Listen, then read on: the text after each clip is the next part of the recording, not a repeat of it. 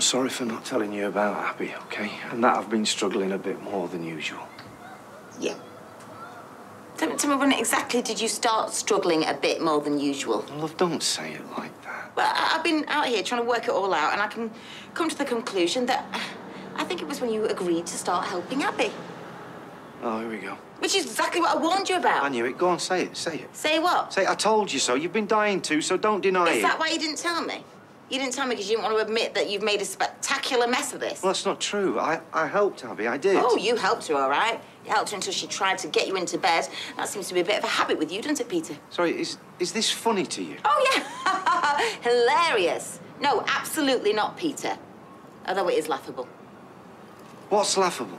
This, What's this? us, well, you, like a walking cliche. I mean, you, you love a damsel in distress. You, you seem to revel on being a saviour, and then you, as soon as they're strong enough, you just boom onto the next one. Such a load of rubbish you're talking. Really? Me after Frank, Toyah in a bad marriage, vulnerable Abi.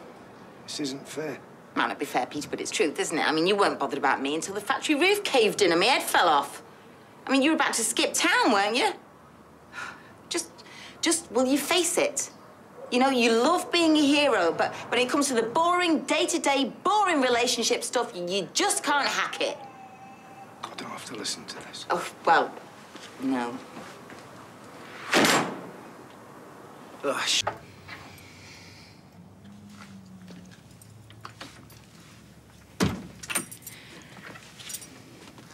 I went a bit far. Sorry. Do you really think all that?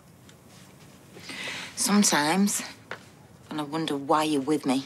I'm with you because I love you. Okay, yeah, and I get that most of the time. It's just that I don't, Pe- Peter. Our past is hard to to get over. I just don't like you thinking that I enjoy seeing you vulnerable. Last year for me, that was torture. Yeah, I know. I'm sorry. You've got to admit there's a double standard here. How do you mean? Well, you could have been a little bit more sympathetic to my struggles when all I did was support you through yours. So we're going back to. Hang on. What don't you get about this, Peter? I couldn't support you because you didn't tell me about it. Okay, in fact, you lied, Peter. You, you lied about being tempted to drink, uh, about Abi trying it on with you. Yeah, trying, being the operative word. Nothing happened. We didn't even kiss. You slept with Jordan, and I didn't complain once. I'm sorry, I didn't mean that. Don't. Please, I didn't mean it. I was ill. I know. You said that you understood that. You said that you knew I. I I had did no control understand over it. I did. I do. Clearly not. So, what, what was it you just you just said? You, you said that you didn't complain once, meaning what you had every right to, and that you you chose not to. Carla, please, love, don't do this. I'm sorry. No, you know what? It's actually good. It's good that I know how you actually feel about me. But um, I think you ought to go now. Carla, please. Oh no no, Peter, really, go.